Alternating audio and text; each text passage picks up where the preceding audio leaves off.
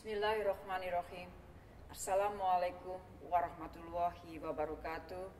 Salam sejahtera bagi kita semua. Om Swastiastu, Namo Buddhaya, Salam Kebajikan. Ibu Bapak yang saya hormati, izinkanlah kami menyampaikan kebijakan tambahan pemerintah Indonesia terkait perlintasan orang dari dan ke Indonesia terkait COVID-19. Pemerintah terus mencermati laporan dari WHO mengenai perkembangan penyebaran COVID-19. Mengingat semakin banyaknya negara yang sudah terjangkit COVID-19, pemerintah menghimbau dengan sangat agar warga negara Indonesia membatasi bepergian ke luar negeri, kecuali untuk kepentingan yang sangat mendesak dan tidak dapat ditunda. Untuk warga negara Indonesia yang saat ini sedang bepergian ke luar negeri, diharapkan untuk segera kembali ke Indonesia sebelum mengalami kesulitan penerbangan lebih jauh lagi.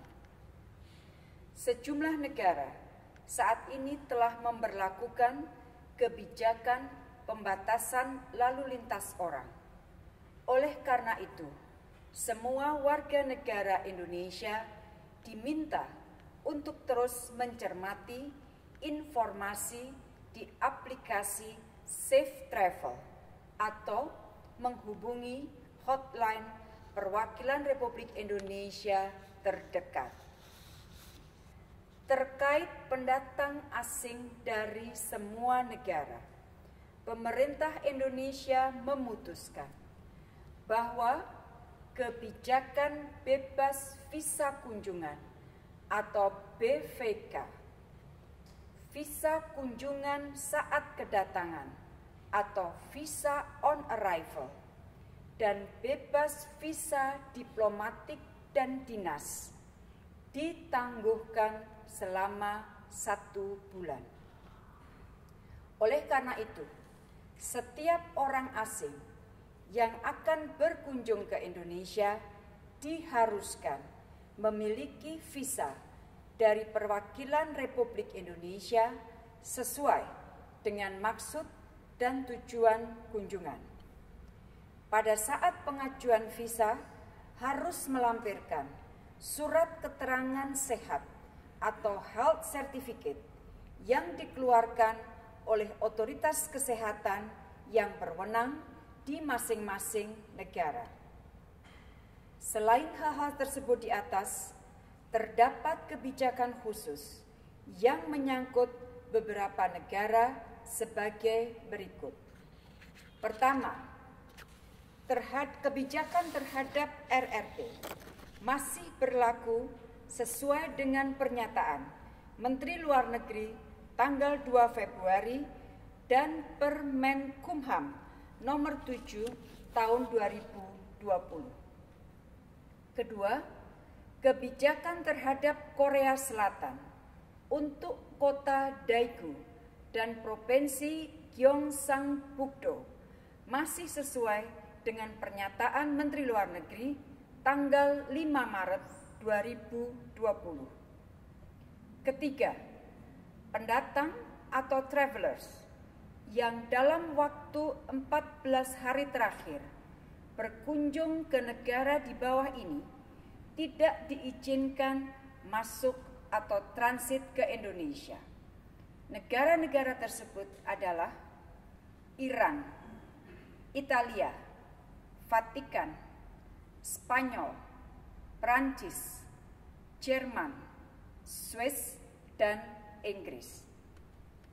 Keempat, semua pendatang wajib mengisi dan menyerahkan kartu Health Alert Card atau kartu kewaspadaan kesehatan kepada kantor kesehatan pelabuhan sebelum ketibaan di pintu masuk Bandara Internasional Indonesia.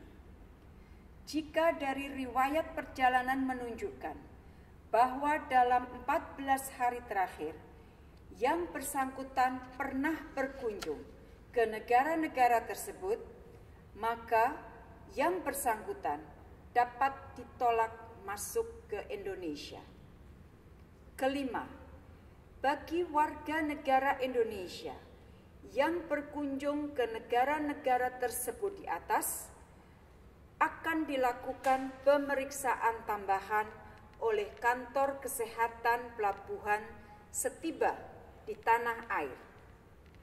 Apabila pemeriksaan tambahan menemukan gejala awal COVID-19, maka akan dilakukan observasi pada fasilitas pemerintah selama 14 hari.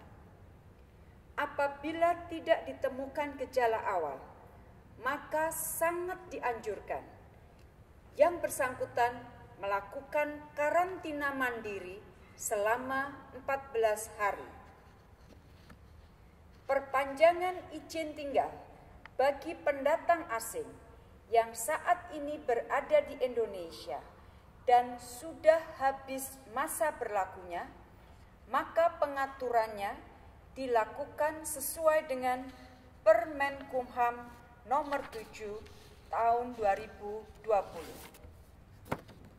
Bagi pemegang kartu izin sementara atau KITAS dan kartu izin tinggal tetap atau kitab serta pemegang izin tinggal diplomas, diplomatik dan dinas yang saat ini sedang berada di luar negeri dan izin masuknya akan berakhir, maka pengaturannya juga sesuai dengan Permenkumham nomor 7 tahun 2020. Kebijakan ini akan mulai berlaku pada hari Jumat 20 Maret pukul 00.00 waktu Indonesia Barat. Kebijakan ini bersifat sementara dan akan dievaluasi sesuai dengan perkembangan. Demikian yang dapat kami sampaikan. Terima kasih. Wassalamualaikum warahmatullahi wabarakatuh.